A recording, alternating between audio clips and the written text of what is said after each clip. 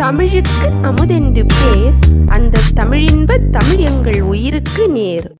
Hello friends எல்லாரும் எப்படி இருக்கீங்க? நல்லா இருக்கீங்களா? இன்னைக்கு எல்லாருமே தீபாவளி நல்ல சந்தோஷமா செலிப்ரேட் பண்ணிட்டு இருப்பீங்க. உங்க எல்லாருக்கும் என் இனிய தீபாவளி நல்வாழ்த்துக்கள். தீபாவளினாலே எல்லார் வீட்லேயும் ஸ்வீட் செய்வாங்க. நானும் இன்னைக்கு இந்த மாதிரி கலர்ஃபுல் அல்வா பண்ணியிருக்கேன். ரெட் கலர்லேயும் எல்லோ கலர்லேயும் அதாவது பாம்பே அல்வா சொல்லுவாங்கல்ல அந்த மாதிரி தான் கார்ன்ஃப்ளோர் பயன்படுத்தி சோள மாவு பயன்படுத்தி தான் செஞ்சுருக்கேன். ஆனால் நான் வந்து இதில் நேச்சுரல் கலர் தான் செஞ்சுருக்கேன். இந்த ரெட் கலரும் சரி எல்லோ கலர் ரெண்டுமே நேச்சுரல் கலர் தான். அது என்ன கலர் நான் எப்படி செஞ்சு எல்லாமே நம்ம- நம்ம வந்து இந்த வீடியோவில் பார்க்கலாம். முதல்ல ரெட் கலர் அல்வா எப்படி செஞ்சோன்னு பார்க்கலாம். அதுக்கு தேவையான பொருட்கள் அரை கப்பு சோள மாவு கார்ன்ஃப்ளோர் அரை கப்பு பீட்ரூட் ஜூஸும் தண்ணியும் கலந்த கலவை அப்புறம் வந்து ஒரு கப்பு வந்து சீனி அதாவது சுகர் ஒரு கப்பு வந்து தண்ணி கால் கப்பு வந்து நெய் அப்புறமா வந்து கேஷ்யூ கேஷ்யூ நட் நான் வந்து அதில் வைக்கிறதுக்கு மறந்துட்டேன். அதனால தான் நான் இமேஜ் போட்டு வச்சுருக்கேன் அதில். அப்புறமா வந்து லெமன் எலுமிச்சை சாறு இவ்வளோ தான் நமக்கு தேவை. இப்போது நம்ம வந்து எல்லாம் மிக்ஸ் பண்ணிக்கலாம். ஒரு பவுலில் வந்து நம்ம அரை கப்பு சோளமாவு போட்டுட்டு அதுக்கப்புறமா அந்த அரை கப்பு பீட்ரூட் ஜூஸும் தண்ணியும் கலந்த கலவை இருக்குல்ல அதை ஊற்றி நல்லா மிக்ஸ் பண்ணலாம். அந்த பீட்ரூட் ஜூஸ் எப்படி நான் பண்ணினேன் அப்படின்னா ஒரு பீட்ரூட் எடுத்துக்கோங்க ஒரு சின்ன சைஸ் ஒன்று நல்லா கழுகி தோலெல்லாம் நீக்கிட்டு அது சின்ன சின்ன துண்டுகளாக கட் பண்ணி பாயில் பண்ணிக்கோங்க. குக்கரில் வைக்கிறது அப்படின்னா ரெண்டு விசில் வச்சு எடுத்தால் போதும். அந்த தண்ணி அதாவது கொஞ்சம் அந்த தண்ணி விட்டு நீங்கள் பாயில் பண்ணிக்கோங்க. அந்த தண்ணியும் பீட்ரூட் ரெண்டும் சேர்ந்து மிக்சியில் அடித்து ஃபில்டர் பண்ணி எடுத்துக்கோங்க.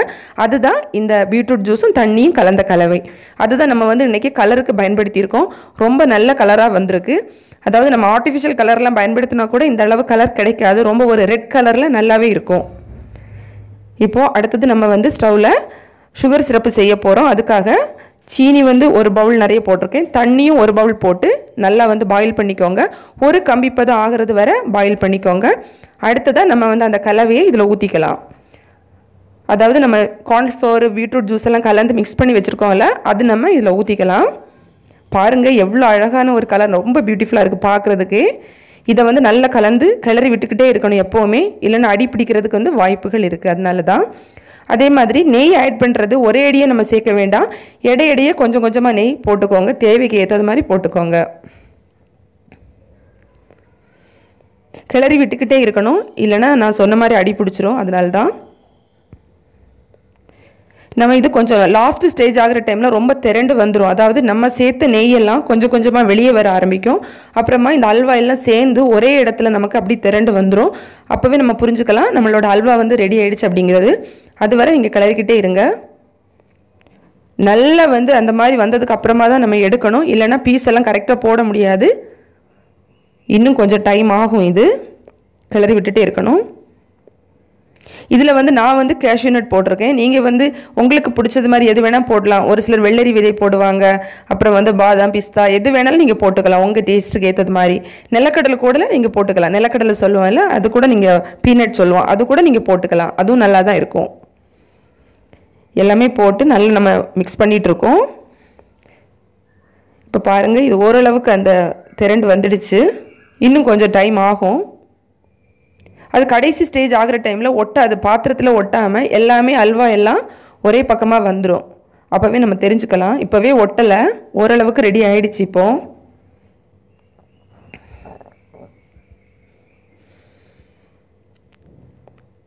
இப்போ பாருங்கள் கரெக்டாக வந்துடுச்சு. நம்ம இப்போ வந்து ஆஃப் பண்ணிக்கலாம். ஸ்டவ் வந்து ஒரு பாத்திரத்தில் நீங்கள் நெய் தடவி அதில் வந்து இதை போட்டுக்கோங்க.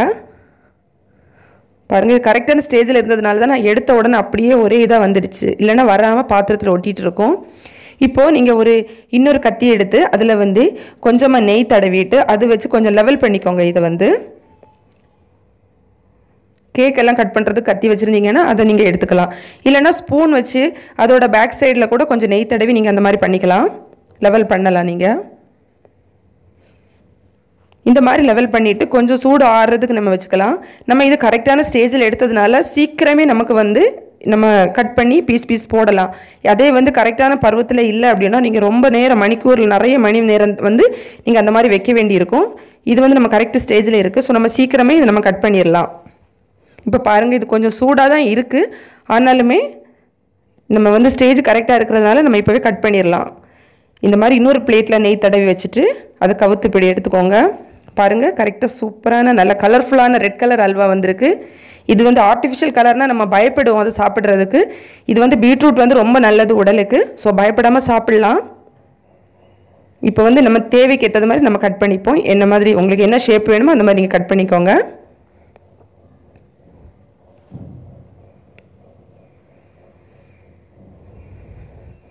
அந்த நீங்கள் கட் பண்ணக்கூடிய அந்த கத்தியிலையுமே கொஞ்சம் நெய் தடவிக்கோங்க. இல்லைன்னா ஒட்டுறதுக்கு சான்ஸ் இருக்குது கத்தியில் அதனால தான்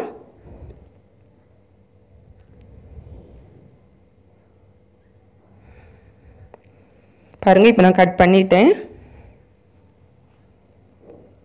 இப்போ ஒரு பீஸ் நான் எடுத்து காமிக்கிறேன் பாருங்கள் ரொம்பவே சூப்பராக கலர்ஃபுல்லாக ரெட் கலர் அல்வா ரெடி ஆகிடுச்சு அடுத்ததாக எல்லோ கலர் அல்வா எப்படி செய்கிறதுன்னு பார்க்கலாம். அதே தான் எல்லாமே அதே தான் ஆனால் இது மட்டும் என்ன நான் எல்லோ எல்லோ கலருக்கு பயன்படுத்தியிருக்கிறேன்னா குங்குமப்பூ இருக்குல்ல அதுதான் பயன்படுத்தியிருக்கேன். குங்குமப்பூ வந்து நீங்கள் வந்து பவுடர் பண்ணி அதை வந்து கொஞ்சம் தண்ணியில் விட்டு பாயில் பண்ணி ஒரு பத்து நிமிஷம் அந்த மாதிரிலாம் வச்சுருந்தீங்கன்னா அந்த மாதிரி உங்களுக்கு ஒரு ஒரு எல்லோ ஆரஞ்சு அந்த கலரில் கிடைக்கும்.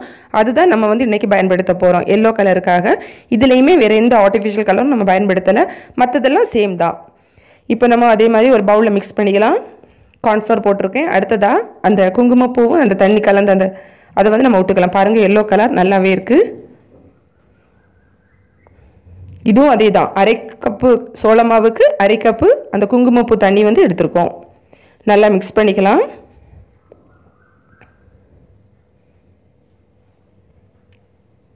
இதனால நமக்கு ஆர்டிஃபிஷியல் கலர் சேர்க்கல ஸோ எந்த பிரச்சனையும் கிடையாது. இப்போ நான் சேம் அதே தான் சுகர் சிரப்பு வச்சுருக்கேன் காய்ச்சினேன். அதெல்லாம் திருப்பி நான் காமிக்கலை. ஏன்னா வந்து வீடியோ ரொம்ப லெந்தியாக போயிட்டுருக்கோம் அதனால தான் அடுத்ததாக வந்து நம்ம இப்போது குங்குமப்பூ கலந்த தண்ணியும் அந்த சோளமாவெல்லாம் கலந்து வச்சுருந்தோம்ல அதுதான் விட்டு நான் வந்து மிக்ஸ் பண்ணிகிட்டு இருக்கேன் நம்ம முதல்ல செஞ்சோம்ல அதே தான் சேம் தான். இதுலேயுமே வந்து தேவைக்கு ஏற்றது மாதிரி நம்ம வந்து நெய் போட்டுக்கலாம். ஒரே அடியே போட வேண்டாம் இடையிடையே போட்டுக்கோங்க. கிளறி விட்டுட்டே இருக்கணும். ஏன்னா அந்த அஹ், சோள மாவு அதாவது கார்ன்ஃப்ளவர் வந்து ஈஸியாக கெட்டியாயிரும். அதனால நம்ம எப்போவுமே கிளறிட்டு இருக்கணும்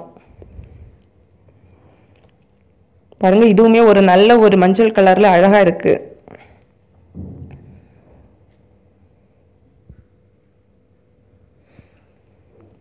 நம்ம முதல்ல செஞ்சோம்ல அதே மாதிரி தான் ஒரு பக்கமாக எல்லாமே அந்த அல்வா சேர்ந்து திரண்டு வரும். அதுக்கப்புறமா தான் நம்ம வந்து அதை எடுத்து பிளேட்டில் ஊற்றி வைக்கணும். அதுக்கு முன்னாடி எடுத்தோம் அப்படின்னா அந்த அல்வா ஸ்டேஜ் வந்து கரெக்டாக இருக்காது. அதனால தான்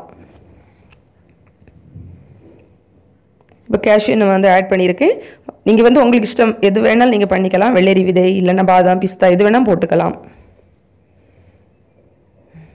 இப்போ ஓரளவுக்கு ரெடியாக இருக்குது ஆனால் இன்னும் கொஞ்சம் ஒட்டிட்டு தான் இருக்குது அது நம்ம ஸ்பூன் வச்சு எடுக்கிற டைமில் அப்படியே ஒட்டாமல் வரணும். அதுதான் வந்து கரெக்டான ஸ்டேஜ் அது மாதிரி இது செய்கிற டைமில் ஃப்ளேம் வந்து அதிகமாக வைக்காதீங்க. கொஞ்சம் குறைவாக வச்சு செஞ்சுக்கோங்க. அதாவது தீ வைக்கிறது ரொம்ப அதிகமாக ஆயிடுச்சு அப்படின்னா சீக்கிரமாக வந்து அது அடி பிடிச்சிரும். அதனால தான். இப்போ ஓரளவுக்கு ரெடி ஆகிடுச்சு பாருங்கள் நான் ஸ்பூன் வச்சு பண்ணுற டைமில் அந்த பாத்திரத்தில் ஒட்டாமல் அப்படி வந்துட்டுருக்கு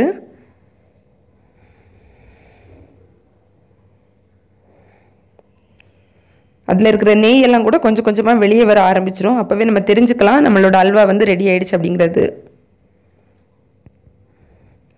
நம்ம முடிஞ்ச வரை நிறைய டிஷ்ஷஸ் எல்லாம் செய்கிறதுக்கு இந்த மாதிரி நேச்சுரல் கலர் பயன்படுத்தினா ரொம்ப நல்லது. ஆர்டிஃபிஷியல் கலர் வந்து எடிபிள்னு சொல்லுவாங்க. ஆனாலுமே அது வந்து நம்ம உடலுக்கு வந்து அவ்வளோ நல்லது கிடையாது.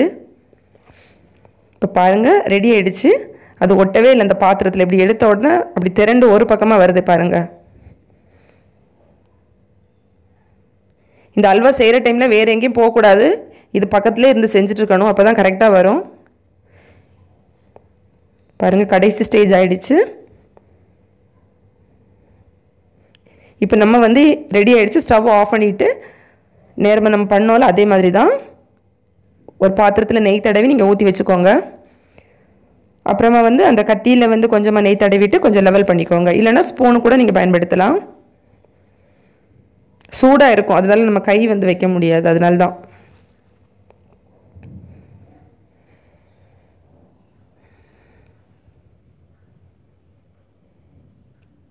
இது கரெக்டான ஸ்டேஜில் இருக்கிறதுனால நம்ம சீக்கிரமாகவே இதை வந்து பீஸ் போட்டுடலாம். சரியாக வந்து அது அந்த ஸ்டேஜ் ஆகலை அப்படின்னா நம்மளால் வந்து கட் பண்ண முடியாது. கத்தியில் ஒட்டிக்கிட்டு வந்துட்டுருக்கோம் இப்போ நான் ஓரளவுக்கு லெவல் பண்ணிட்டேன். திருப்பி நம்ம பிளேட்டில் கவுத்துக்கலாம் இதே மாதிரி. பாருங்கள் உடனே வந்துடுச்சு. இப்போ தேவையானது நம்ம என்ன மாதிரி ஷேப்பில் வேணுமோ அந்த மாதிரி நம்ம கட் பண்ணிக்கலாம். அல்வா செஞ்சதுக்கப்புறம் கூட நீங்கள் நெய் வேணும் ஆஸ் அப்படின்னு ஆசைப்பட்டீங்கன்னா கொஞ்சமாக நெய் மேலே ஊற்றிக்கலாம்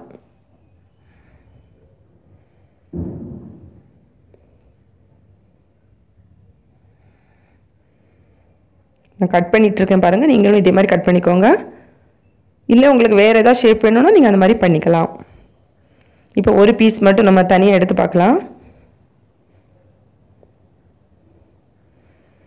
பாருங்கள் ரொம்ப மஞ்சள் கலரில் அழகாகவே இருக்குது இப்போ நான் இன்னொரு பிளேட்டில் எடுத்து வச்சுருக்கேன் பாருங்கள் ரெட் கலர் எல்லோ கலர் ரெண்டு அல்வாவும் சூப்பராக வந்திருக்கு. உங்கள் வீட்டில் கண்டிப்பாக ட்ரை பண்ணி பாருங்கள் எப்படி இருக்குது அப்படிங்கிறத கமெண்ட் பாக்ஸில் கண்டிப்பாக சொல்லுங்கள் தீபாவளியை ரொம்ப சந்தோஷமாக நல்லா என்ஜாய் பண்ணுங்கள் இந்த வீடியோ உங்களுக்கு பிடிச்சிருந்துன்னா லைக் பண்ணுங்கள் உங்கள் நண்பர்களுக்கு ஷேர் பண்ணுங்கள் மேலும் பல வகையான தகவல்களுக்கு நம்ம தமிழ் ஆல்ரவுண்டர் அப்பட்டக்க சேனலை மறக்காமல் சப்ஸ்கிரைப் பண்ணுங்கள் கூடவே நோட்டிஃபிகேஷன் ஐக்கானையும் கிளிக் பண்ணிக்கோங்க. தேங்க்ஸ் ஃபார் வாட்சிங் நன்றி வணக்கம்.